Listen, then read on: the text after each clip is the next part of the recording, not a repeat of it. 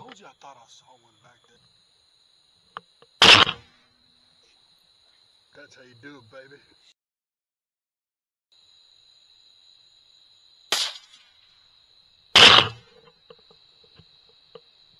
All right, man.